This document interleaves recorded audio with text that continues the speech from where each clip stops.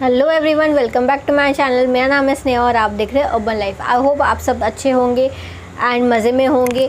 सो so, आज मैं लेकर आई हूँ एक और यूज़फुल वीडियो जहाँ पर हम बात करने वाले हैं कुछ अमेजिंग यूजेस एलोवेरा जेल के बारे में। सो एलोवेरा जेल बहुत ही ज़्यादा यूज़फुल है बहुत ही ज़्यादा। इसके बेनिफिट्स बहुत ज़्यादा है जिसकी हम वीडियो में आगे बात करेंगे ना। आप, आपको आप किस किस किस किस तरीके से किस किस अमेजिंग तरीके से इसको यूज़ कर सकते हैं उसकी हम बात करेंगे। सो so, वीडियो शुरू करने से पहले अगर आप मेरे चैनल पर नए हैं तो इसे सब्सक्राइब ज़रूर कर लीजिएगा। एंड इस तरीके की और भी अच्छी अच्छी वीडियोज़ फ़ैशन लाइफस्टाइल ब्यूटी डी रिलेटेड वीडियो अगर आप देखना चाहते हैं तो मेरे चैनल को ज़रूर सब्सक्राइब कर लीजिए। एंड बेल बटन को भी ज़रूर हिट करिए ताकि मेरी आने वाली वीडियोस की नोटिफिकेशन आपको मिलती जाएगी। एंड ये वीडियो ज़रा भी अच्छा लगे तो इसे लाइक कर दीजिए। इंस्टाग्राम पे नहीं फॉलो करें तो फॉलो कर लीजिए। इंस्टाग्राम हैंडल यहाँ पर आपको मिल जाएगा। चलिए वीडियो को शुरू करते हैं। एलोवेरा में बहुत ज़्यादा प्रॉपर्टीज़ है जो कि आपके स्किन के लिए हेयर के लिए बहुत ज़्यादा काम आ सकती है। इस एलोवेरा जो होता है वो एंटी इन्फ्लेमेटरी होता है एंटी बैक्टीरियल होता है। सो अगर आपके पिंपल्स वगैरह है तो उसके लिए बहुत ज़्यादा अच्छा है।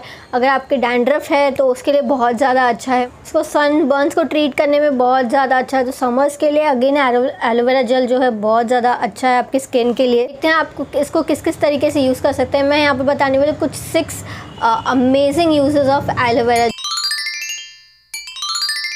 gel so first यहाँ पर है एज अ मॉइस्चराइज़र सो जो कि बेसिक यूज़ है, आप एलोवेरा जेल को एज अ मॉइस्चराइज़र बहुत ही अच्छी तरीके से यूज़ कर सकते हैं। कोई और मॉइस्चराइज़र यूज़ करने से बेटर आप एलोवेरा जेल यूज़ कर सकते हैं।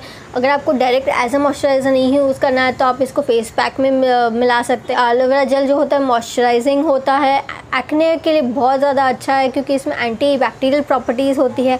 एक्ने ट्रीट करने के लिए बहुत ज़्यादा डार्क स्पॉट्स ट्रीट करने के लिए बहुत ज़्यादा। आपकी स्किन को एजिंग से प्रिवेंट करने के लिए बहुत ज़्यादा अच्छा है क्योंकि आपको स्किन को हाइड्रेटेड रखता है मॉइस्चराइज रखता है। आपके सनबर्न्स है या फिर समर्स में यूज़ अगर यूज़ करना है तो एलोवेरा जेल सनबर्न्स के लिए बहुत ज़्यादा अच्छा है। अगेन एलोवेरा जेल की जो मैं बात कर रही हूँ टाइम है एंड अगर आपके पास प्लांट है एलोवेरा का, आप उसमें से as a natural aloe vera gel खुद बना सकते हैं घर पर अगर नहीं तो आप एलोवेरा जेल जो मार्केट में मिलते हैं, वो यूज़ कर सकते हैं।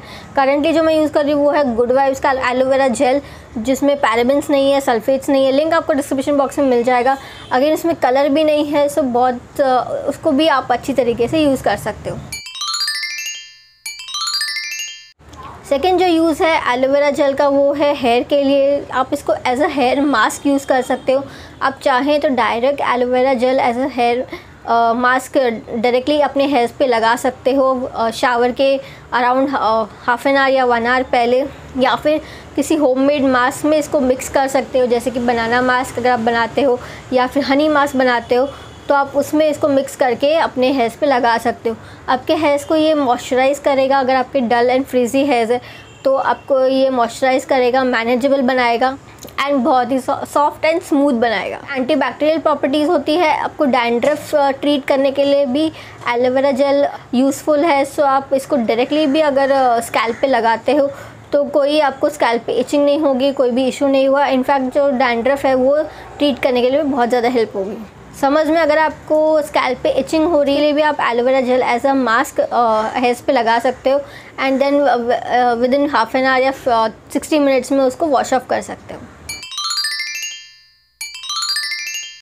थर्ड जो यूज़ है एलोवेरा जेल का वो उसको आप as a heat protector use कर सकते हो अपने हेयर्स के लिए। सो so बेसिकली अगर आप कोई हेयर स्टाइलिंग टूल यूज़ करते हो, जैसे कि स्ट्रेटनर है या कलर है या किसी और तरीके का हेयर स्टाइलिंग टूल है, उसके पहले आप जो हेयर प्रोटेक्टर जो स्प्रे यूज़ करते हो, उसके जगह पे आप एलोवेरा जेल यूज़ कर सकते हो, जो कि नेचुरल भी रहेगा एंड आपके हेयर्स को सॉफ्ट एंड स्मूथ भी बनाएगा। एंड जो हीट है इन स्टाइलिंग टूल्स में से वो उससे प्रिवेंट उसके डैमेज से प्रिवेंट करने के लिए भी आपको हेल्प करेगा। सो so, अगेन ये बहुत ही ज़्यादा अमेजिंग यूज़ है। आप किसी भी हेयर स्टाइलिंग टूल यूज़ करने के पहले बालों में यूज़ कर सकते हो।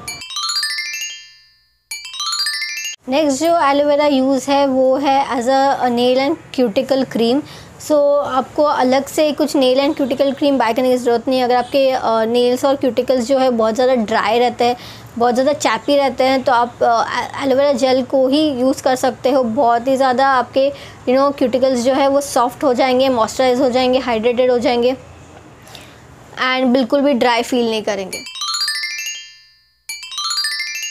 नेक्स्ट आप यूज़ कर सकते हो eyebrow gel aloe vera gel as a eyebrow gel so अगर आपको आईब्रो सेट करने में प्रॉब्लम होती है तो आप एलोवेरा जेल को ही आईब्रो में लगा करके इस पुली से इसको ठीक करके आप उसको आईब्रो जेल भी यूज़ कर सकते हैं। बहुत ही अमेजिंग यूज़ है ये भी। नेक्स्ट आप यूज़ कर सकते हैं एलोवेरा जेल को for your cracked heels so अगर आपके हील्स जो है वो क्रैक्ड रहते हैं ड्राई रहते हैं स्पेशली यू नो विंटर्स में सो आप एलोवेरा जेल यूज़ कर सकते हो क्योंकि ये एंटी इन्फ्लेमेटरी है एंटी बैक्टीरियल है. सो so, uh, उसको ट्रीट करने में हेल्प करेगा एंड एलोवेरा जेल जो है वो हाइड्रेटिंग होता है मॉइस्चराइजिंग होता है. तो आपको आपके जो ड्राई हील्स है उसको भी मॉइस्चराइज़ करने में हाइड्रेट करने में बहुत ज़्यादा हेल्प करेगा। ये भी बहुत ज़्यादा अच्छा यूज़ है एलोवेरा जेल का आप बिल्कुल ट्राई करके देख सकते हो। सो so, ये थे कुछ अमेजिंग यूजेस एलोवेरा जेल के। आई होप आपको वीडियो हेल्पफुल रहा होगा अच्छा लगा होगा अच्छा लगा है तो इसे लाइक ज़रूर कर दीजिएगा। मैं मिलती हूँ नेक्स्ट वीडियो में तब तक के लिए गुड बाय